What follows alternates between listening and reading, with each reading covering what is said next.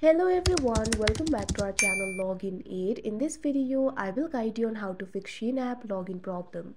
So if you also want to fix Shein app login problem, this video is just for you. Follow the simple steps and you'll be able to do it. So if you're facing login problem in Shein app, that might be because of various reason. The first thing that you can do is make sure your credentials are correct.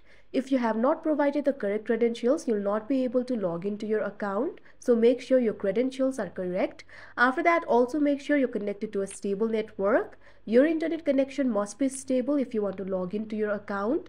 If your internet connection is stable but still you're not being able to log into your account, that might be because of various reasons.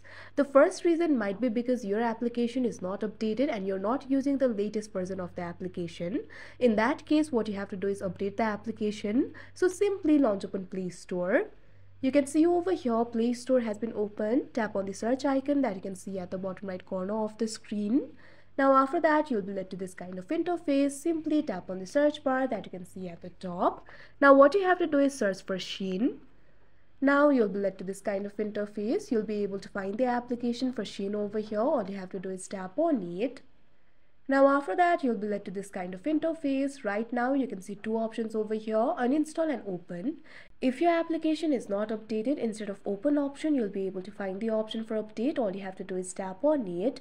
After that your application will be updated and your problem should be fixed. But if your problem is still not fixed what you can do is try clearing the cache of application.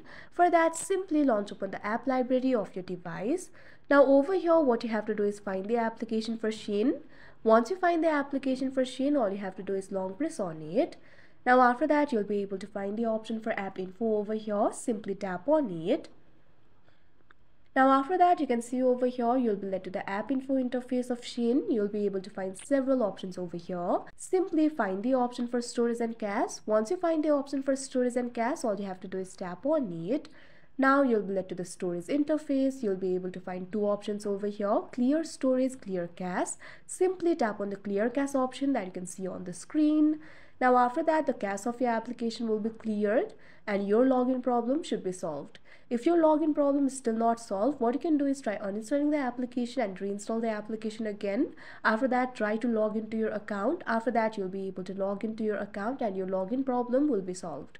So that is how you solve Shein app login problem. I hope you found this video helpful. Thank you for watching. Make sure to like, share and subscribe to our channel.